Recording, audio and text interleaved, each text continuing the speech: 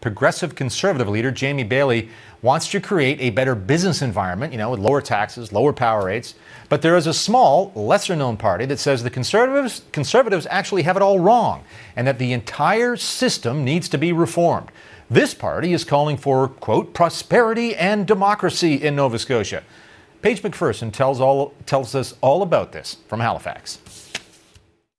Well, that's right, David. While the three major parties presented their competing economic visions at today's radio debate, one party says that they're all just status quo and they have no vision at all.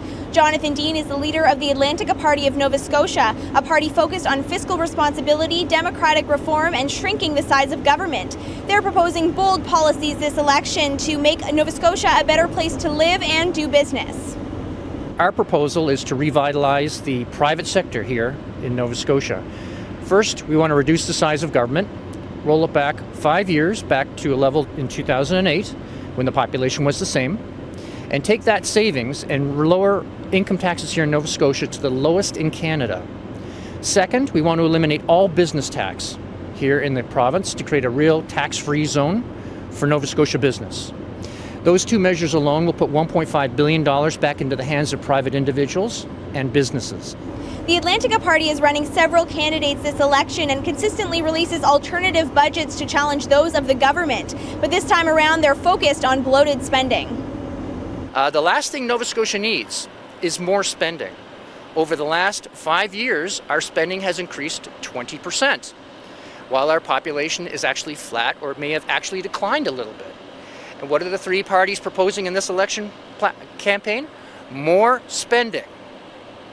So I ask you, where's the future in that? There is no future in that. We need big change here in Nova Scotia, and we're prepared to bring it. Dean says a victory for the Atlantica Party would be to have one of their candidates not come in last this election. He says he'll continue to hold the government to account, whomever that government may be, and that the Atlantica Party is a long term project with the ultimate goal of renewing the economy in Nova Scotia.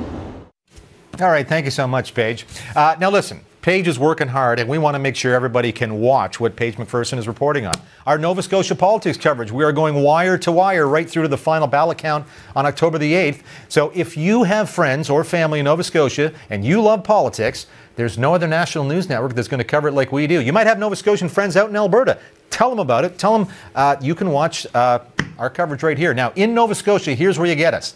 On Eastlink, 663 on Shaw Direct 149 or 517 and on Bell you can catch us at 506 so once again there is the channels that we can be found on on your cable and television uh, systems uh, in Nova Scotia. So please tell all your friends. We, we do this at 6 uh, Eastern 8 Eastern and 11 Eastern